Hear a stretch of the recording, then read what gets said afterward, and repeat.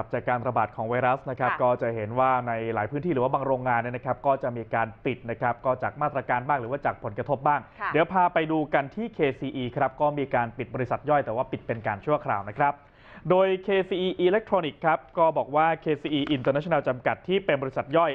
เขาจะปิดทำการชั่วคราวครับก็เป็นผลจากโคเอ่อตัวโควิด -19 ที่มีผลกับภาวะตลาดในตอนนี้ ความต้องการซื้อลูกค้าในตลาดยานยนต์มันลดทั่วโลกเลยครับ เพราะว่าปิดประเทศกันไป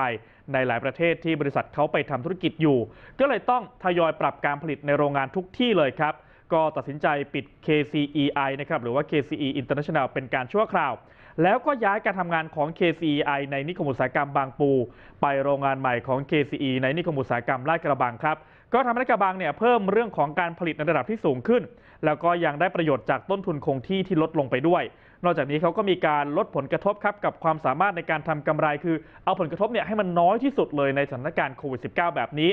ซึ่งการปิดการทำงานชั่วคราวของ KCI ก็จะเริ่มตั้งแต่ 7 พฤษภาคมครับ จนกว่าโควิด -19 จะควบคุมได้ แล้วก็ตลาดยานยนต์ฟื้นตัวกลับสู่ภาวะปกตินะครับตอนนี้พนักงานทั้งหมดของ KCI ก็โดนโอนย้ายเข้ามาที่สำนักงานโรงงานของ KCE ที่ลาดกระบังก็จะทำให้ลูกค้าเนี่ยมั่นใจเลยว่าบริการสินค้าของเขาเนี่ยได้รับตามปกติแน่นอน แล้วเขาบอกว่ามั่นใจกับการทำธุรกิจของบริษัทในระยะยาวอย่างต่อเนื่องเพราะว่าตอนนี้สถานการณ์เงินเองก็มั่นคงนะครับท่ามกลางการเปลี่ยนแปลงที่เกิดขึ้นครับ